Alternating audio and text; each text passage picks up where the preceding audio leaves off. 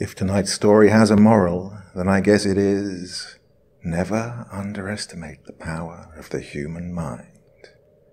For it is an incredible thing, its ability to create, to suppress, to surprise.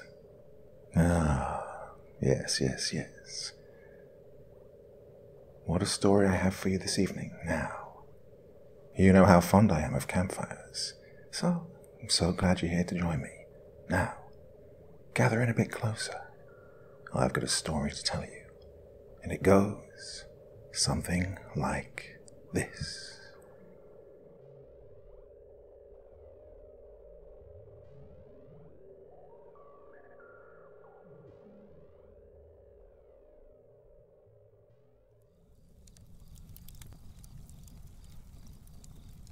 I'm still in high school, and since I'm not quite 16 yet, I don't drive. It doesn't really bother me though, since the town I live in is relatively small, and everywhere I go is pretty much in walking distance. There's this gorgeous wooded area between my school and home that us locals know as Humble Woods. I'm honestly not sure where the name came from, but it isn't found on any maps, as it isn't really that large. It's no actual forest or anything, just about the size of a large park, with a walking path winding through the center of it. It gets fairly thick at some sections, but during the day the sun always finds gaps to break through, and it's just one of those serene places where you can feel nature soothe you. At least, this is how I remember it. I don't usually walk the wooded path though since it takes longer to get between home and school. A couple of months or so ago, I was feeling extremely stressed though, and decided to take my time after school and walk the calm path to try and de-stress myself. I hadn't walked this path in at least four or five years. Why would you want to go that way? It takes longer than our normal way and it creeps me out hardcore. You should just walk with me like usual my best friend Melissa inquired, when I informed her that I would be changing things up one afternoon. We usually walked home together, since we lived only a couple of houses apart. I offered for her to join me, but she insisted that she felt there was something off about the woods, so she wouldn't take part in the relaxing afternoon walk with me. I knew it was going to be weird walking by myself, but with how nervous the woods seemed to make her, I wasn't going to push the issue. The last bell rang out through the school, and I met Melissa at her locker.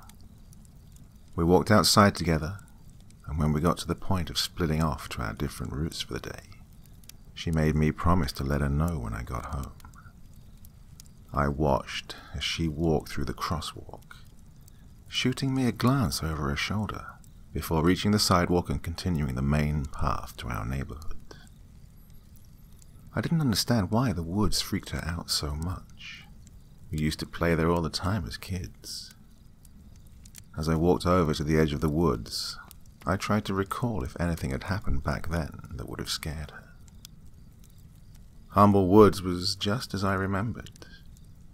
The trees were tall, strong, and shaded the path just enough that it made the ground comfortably cool. The sun shone between branches and leaves, lighting the way for little animals to scurry about amongst the tree trunks, shrubs, and flowers.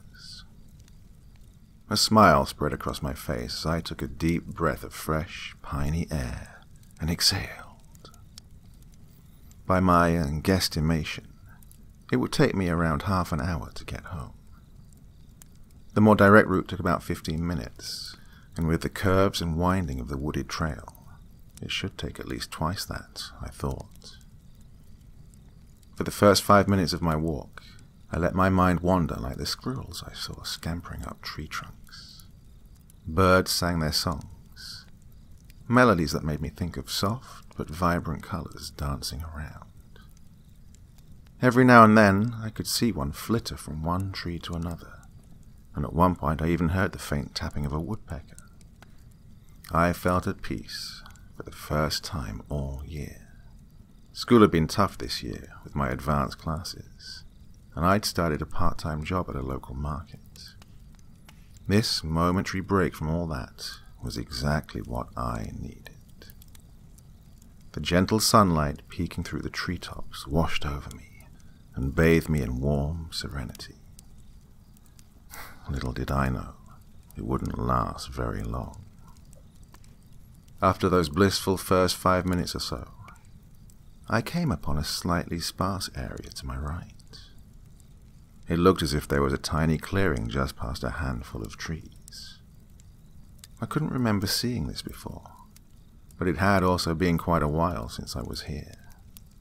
Despite the sun shining brightly above me and to the left of the pathway, the clearing looked rather dark, like the light couldn't penetrate the tops of the trees that surrounded it. That's odd. It should be lighter here, I thought. What could keep the sunlight out that much? I slowed my pace as I neared the tree closest to the path, stopping next to it. I couldn't see very far into the clearing, even when I leaned forward, one hand against the bark of the tree. As I stepped one foot off the worn trail, my phone buzzed in my pocket. It startled me slightly, and using my hand on the tree to push slightly, I pulled my foot back and reached for my phone with my other hand. As the hand holding onto the tree let go and brushed slightly against the bark, I felt a stinging sensation and let out an involuntary ow. It was almost the same feeling you get when you slide a piece of paper across your skin and just know you have a paper cut before you even see it. With my phone in my left hand, I brought my right hand to my face. Sure enough, there was a slender cut on my palm, spanning from the base of my middle finger to the base of my pinky. It was a little larger than a paper cut, but still thin enough that I could see blood just barely pushing up to meet the air. I pressed the wound against my pants at thigh level and unlocked the screen of my phone. It was a text from Melissa. Walking home alone is boring. Mom's working late, can I come over when you get home? I glanced back to the tree where I'd cut myself, but didn't immediately see anything very sharp. Brushing it off, I began typing as I turned back to continue my walk home. Yeah, you gonna eat dinner with us? Melissa responded quickly. Nah, probably not. Mom should be home by then, I think. All right, I'll let you know when I get home, I typed and hit send quickly before locking my screen, before locking my screen and sliding my phone back in the front pocket of my hoodie. As I continued down the dirt path, I inspected my hand closer. It stung, but it didn't seem like there was anything stuck in it, so I resolved to just wash it when I got home and be done with it. After another few minutes, I'd started to feel uneasy for some reason. It took me a moment but I finally realized that I could no longer hear anything. No birds were chirping, no animals were scuttling around, no breeze was shifting the leaves. There was nothing. I knew that I hadn't lost my hearing, though, because I could still hear the sound of my feet on the ground with each step that I made. I tried to think of theories as to why this would happen, but none truly fit. Even when there's a storm coming and animals take shelter before it comes down, there are still some noises to be heard. It was eerie and made me feel vulnerable and alone. I quickened my pace. It had only been a little over ten minutes since I began my short trek through the woods, and I still had a bit of ground to cover. I tried desperately to assure myself that this wasn't weird, but the silence wouldn't allow for that. It was then that I finally realized I was the only person around, possibly the only person in the woods at all. That didn't make sense. Kids should be running and playing and enjoying the trees and natural hiding places. As a kid, I myself played in these woods, usually closer to the other side, nearer to my house. They'd always been relaxing and calm, but even still, you could guarantee that you would see at least a couple of kids running among the brush and laughing with one another at least once whenever you entered the woods. Had I seen kids or anyone going in or coming out of the forest recently? I couldn't remember now. Another ten minutes passed in mind twisting quiet. I had to be getting close to the edge of the woods, definitely over halfway at least. From a fair distance, I heard a rustling noise. It was very faint, but after having no noise for so long, it made me jump. I looked around, turning to walk backwards for a moment so I could see behind me, but I saw nothing. I couldn't be sure yet which direction the sound had come from, so I strained my ears in an attempt to hear it again. I turned to face forward once more and heard it. Still hard to hear and off in the distance. It sounded like it was coming from ahead of me and off to the left. It's just an animal. You're finally getting out of the creepy quiet part of the woods, I thought to myself. As much as I hoped this was really the case, I couldn't deny the chill that began to edge up my spine. There were still no other sounds, and I didn't hear the rustling again. I walked briskly for another two minutes and then came upon something that jolted memories to the front of my mind. There was a treehouse just off the path on the left. I'd totally forgotten about the treehouse. Melissa and I used to play in it all the time.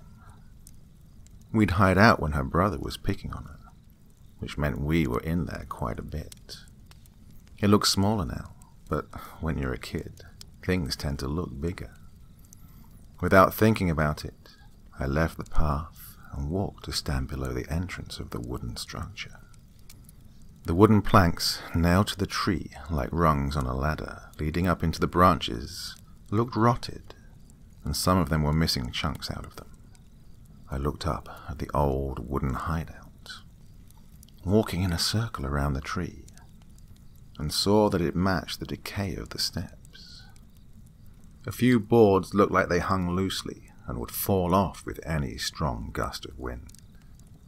There were three small windows that were warped and misshapen from years of weather, and sections of the treehouse were slumping down.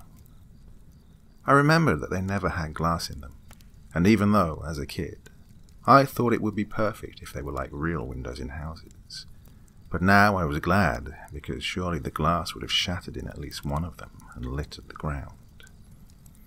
I saw a few holes here and there from rot and possibly insects. It was in terrible shape. Along with the decay, I saw some deep gashes in the wood littering the surfaces around the window holes and bottom of the treehouse. They were in sets of four and made me think of an animal trying to claw its way up the wood and into the shelter. Maybe a frantic animal made them, trying to get out of a storm or something, I thought to myself, brushing off the odd tingle in my spine that the sight caused. Standing back at the entrance, I felt a wave of nostalgia as I gazed up into the hole that served as a doorway into the floor of the house. Tears started gathering in my eyes from nowhere, and I wasn't sure why seeing this old plaything was so heartbreaking. Those thoughts quickly vanished, however, as soon as I saw what was in the treehouse. I hadn't really been focusing on anything while I looked into the darkened room from beneath it, but an ever so slight movement and noise made me realize that, as I was looking up, something was shifting silently around the hole. I couldn't really see it, but I knew something was there. I pretended not to notice and made my way back to the path, pulling out my phone and calling Melissa. Mel?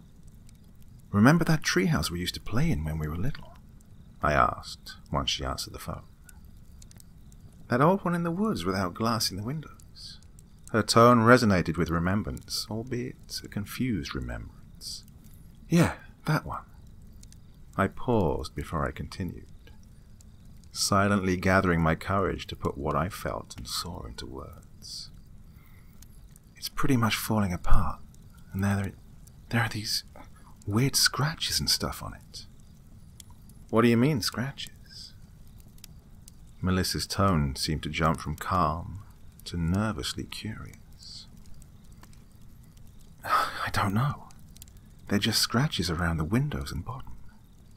I'm sure it's no big deal, but I think whatever animal made them might have started living in the treehouse. What kind of animal was it? I can't say. I saw something moving around up in there, but couldn't see what it was or anything.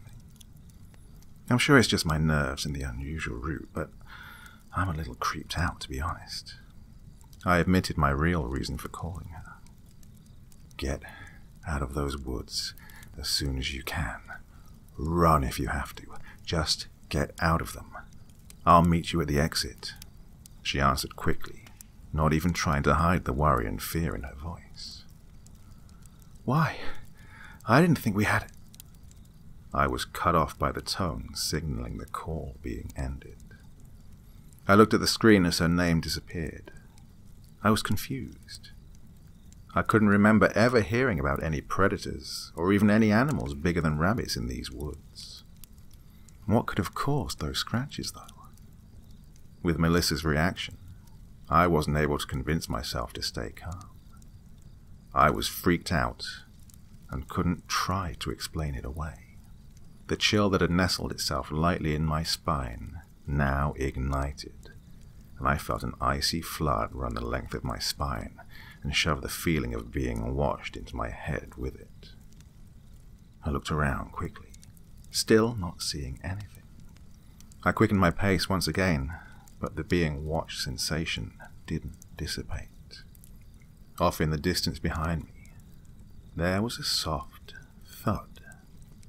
I began to jog, not bothering and not wanting to look back, at least not yet. I strained my ears as I followed the trail, attempting to hear if anything was following.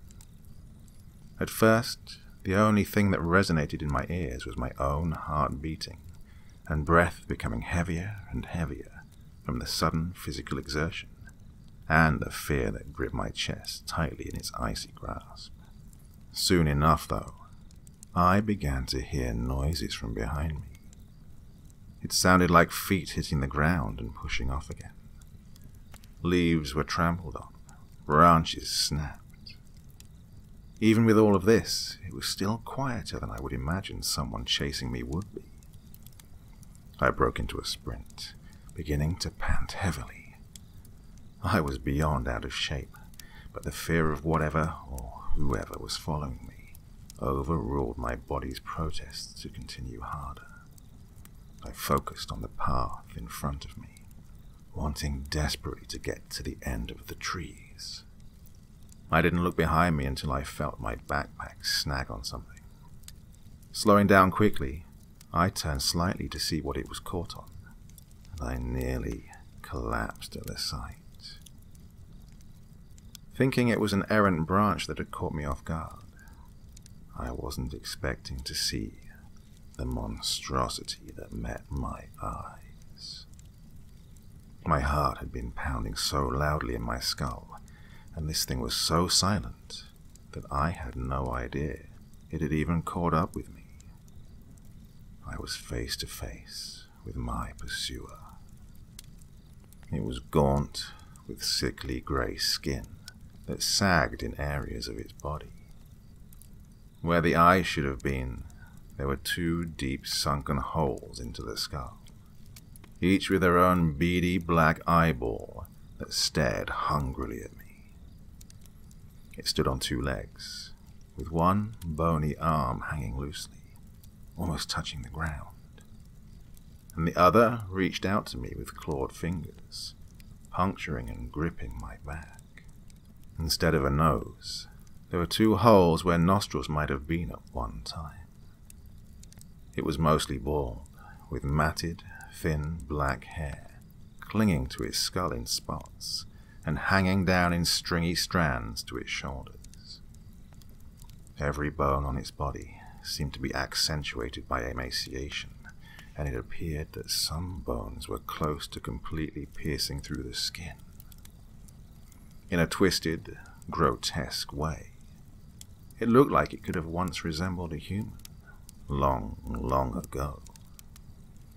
It snarled at me, and I could see the thin lips stretch back unnaturally to reveal sharp, jagged, and broken teeth, unlike anything human.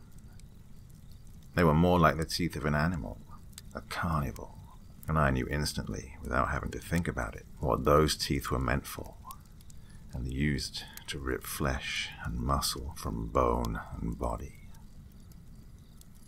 I took all of this in fast, in just a split second, and felt a primal terror well up in me, threatening to choke me and make my lungs explode.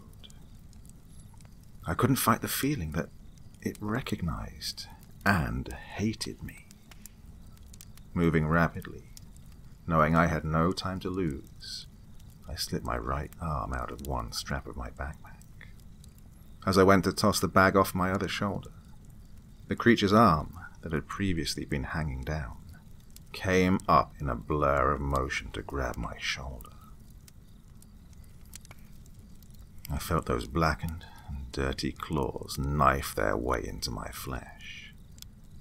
I swear I heard that thing chuckle when I let out an involuntary cry of agony. Using my opposite hand, I pushed the strap of my bag off of my shoulder and onto the arm of that thing. Momentarily, a little thankfully, it grabbed me above the strap. The sudden weight made it release its hold on me, and I took off as fast as I could while it dropped my backpack onto the ground from its wrist.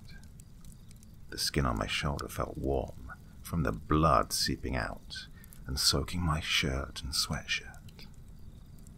I wasn't sure how bad the damage would be, but I felt the deep pain all the way into my bone. My arm was quickly going numb, and I couldn't move it. I reached my right hand through the front pocket of my hoodie, trying not to drop my phone at the same time, and grabbed my left wrist, pulling it through. It was no sling, but it would keep my arm steady for now, and out of the way. I glanced over my shoulder and saw the thing resume chase. If it was possible, it seemed angrier, snarling at me when it saw my face turn to look at it. It was following me now on all fours, no longer trying to be quiet. I pushed my feet to move faster, my body to hold out a little longer. With each pounding of my foot against the ground, memories from when I was nine pounded my head in flashes.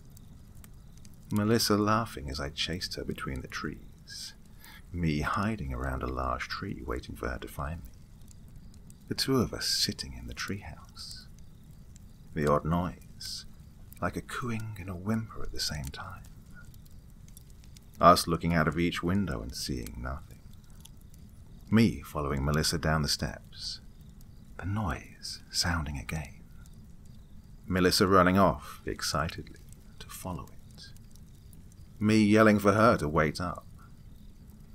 Jogging through the trees, trying to find her. Calling her name. Melissa's shrill scream piercing the air and assaulting my ears. Me running in the direction her scream had resonated from. Almost physically running into her. Melissa's dirt smeared and tear stricken face. And she sobbed. The sheer terror I saw in her eyes. Her standing there, glancing behind her while she held one of her shoes in her hand. Her grabbing my arm and pulling me back to the path as she told me we had to get out of the woods. The sounds the pursuer made that let us know it was gaining on us. Both of us breaking out in the fastest speed I have ever run in my life the strange, slow motion moment when I turned around because she'd stumbled. The way she yelled at me to run faster, to go, to keep running. The way I heard heavy thuds against the ground as the monster came into sight. The grotesque way it salivated and ran on all fours in a gait that seemed too fast for the way its arms and legs bent. The claws, digging in and spitting up dirt as they scraped into the earth and then back out. The air burning in my lungs as I screamed Melissa's name. The way she turned her head, saw it, then turned back to me and yelled at me for the last time to run. I remembered the blood I saw mixed with dirt and caked on her arm in three long gashes running from her shoulder to her elbow. I remembered hearing my steps pounding in my head along with my heart. I remembered hearing her steps not far behind me and the creature's steps still gaining on us. I remembered seeing the edge of the trees come into view and thinking that we just had to get out of the woods and things would be okay. I remembered thinking that we had almost made it. In my mind, I saw myself as a child lunging my body into the bright sun, out of the oppression of the trees. I turned round to look at Melissa when I was about ten feet out of the trees. I saw the monster right behind her, using its back legs to pounce at her. Claws sunk into the flesh of her shoulders, and she screamed again. I remembered the ringing in my ears caused from the combination of her scream and my own as I screamed her name desperately. I saw the monster grip tight enough to make blood spurt out of a tiny bit from around the claws it had deep in her.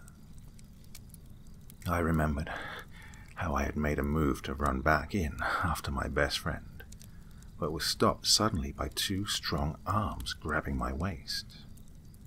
I remembered my father holding me tight as I fought to go save the girl I was supposed to keep growing up with. I remembered seeing her father clutching a shotgun as he ran at full speed into the shaded woods and after his daughter.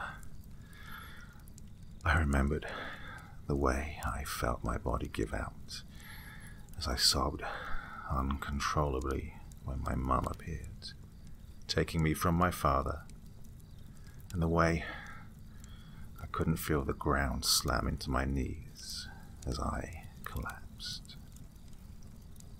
Flashes kept coming of my mum kneeling next to me, then sitting completely on the ground.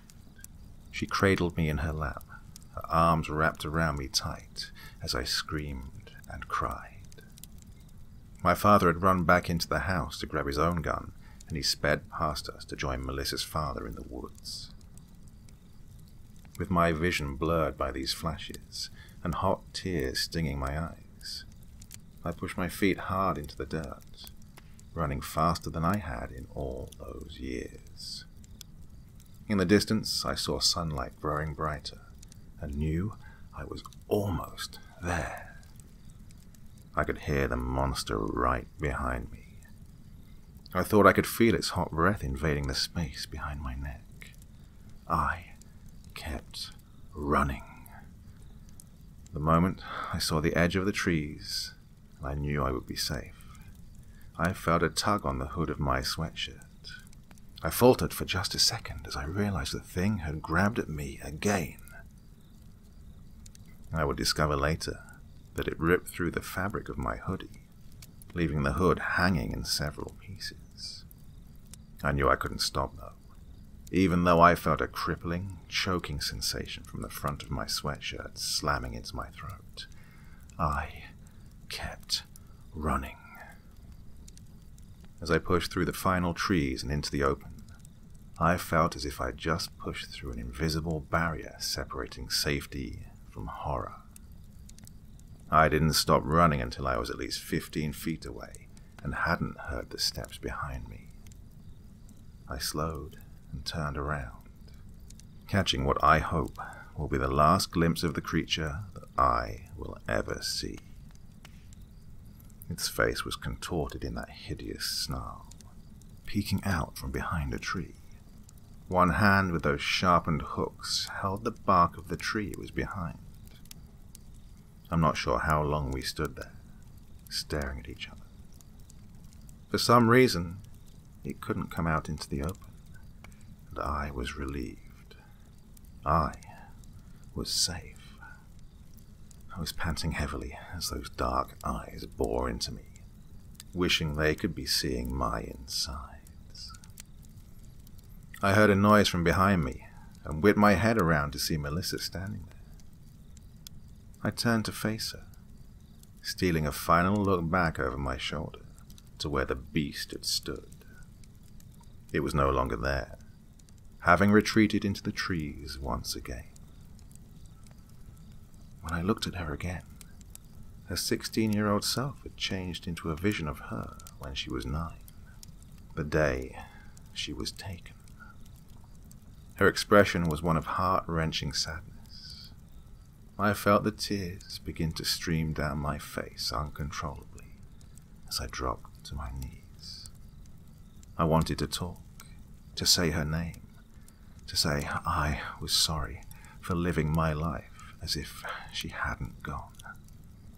I couldn't manage any words, though, but it seemed like none were needed. Melissa smiled sadly at me and walked to where I was kneeling. She kneeled down in front of me and touched my cheek lightly with her fingertips. I felt a slight tingle where they touched, but couldn't feel the touch as if she had been really flesh and blood. Took my right hand in her left and held it, palm up. I saw now that her right hand was clenched around something. She gently placed something smooth and cool in my palm, and used her own to wrap my fingers around it. She stood, still smiling sorrowfully, and kissed my forehead. Without any words spoken out loud, I felt her whisper into my mind that she was glad I made it out of those woods, those years ago, and now. With that, she turned and started walking away. I saw the image of her father standing patiently in the direction of their house.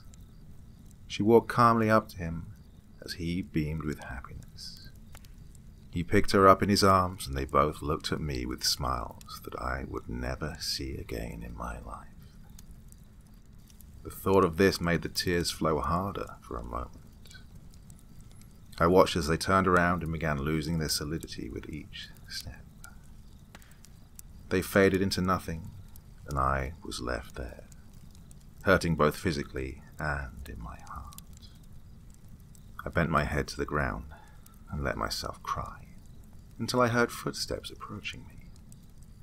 I looked up to see my father. His face showed a parent's worry, but his eyes looked upon me softly. He held his hand out to help me up. I walked through the woods. I spoke in a broken voice before he could ask anything. He swept me into his arms in a tight hug. I winced slightly at the pressure the hug put on my torn up shoulder, but the pain was worth it to feel safe. Are you okay? Is all he asked as he released me. His worried expression took on a note of horror when he saw the blood transferred onto him from my shoulder. I looked up at him and held my clenched hand out in front of me. His gaze fell upon my hand as I unfurled my fingers to reveal to both of us a small, half heart pendant on a silver chain. It had a cursive M engraved on it. I looked back up at him new tears pushing their way to the surface, and he only looked at me, a sad smile of his own forming on his face. He took the necklace from my hand and reached it around my neck, clasping it in place. It fell at the same length of my own half heart necklace, and I touched the now complete heart with the initials M and J. Let's go home, Jenna. We need to take a look at that shoulder, and you need to rest. And with that, I let him lead me home, holding my hand in his as we had done so long ago when I was still a little girl. In the couple of months since this happened, I've struggled with trying to understand it all, especially how she was alive for me for almost seven years. My parents explained to me that after our fathers went in after her, Melissa's father found her body being ripped apart by that thing.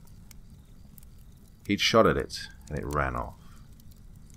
He had run over to his daughter, dropping his gun at some point, and when my father found them, he was covered in her blood as he cradled her dead body and sobbed.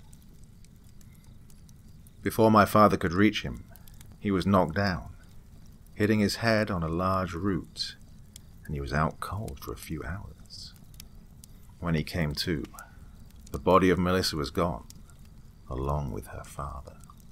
The only sign of them was a smeared trail of blood, where the monster had dragged them on the ground.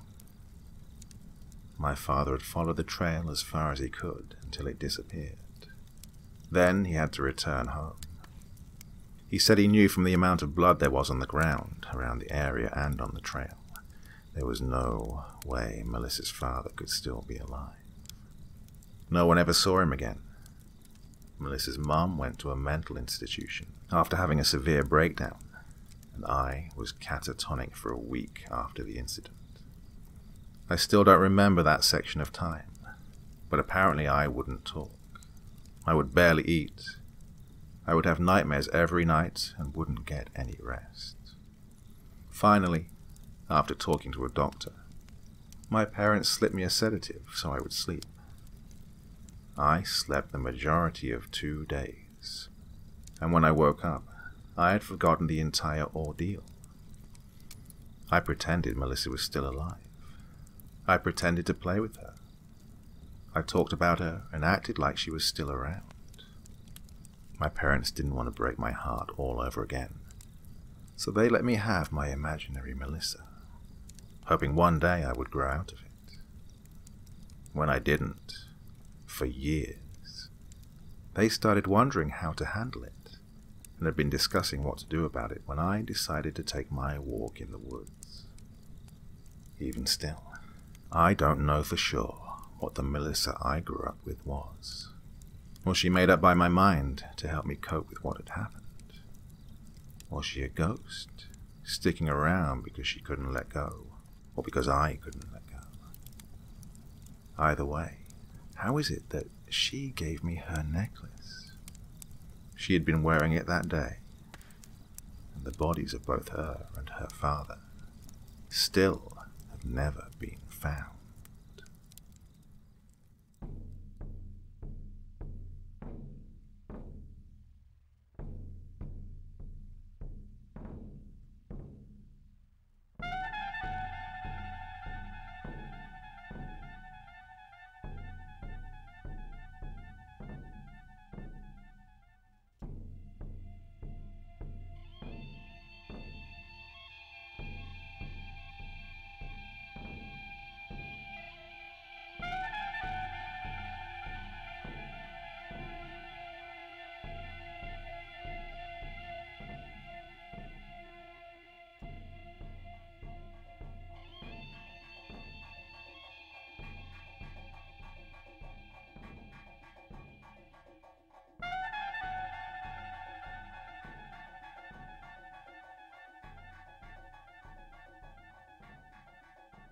Thanks for taking the time to drop by and watch this video.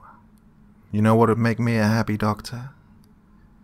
Hitting that like button, leaving a comment, and subscribing to my channel. Go on, I've got plenty more stories to tell you.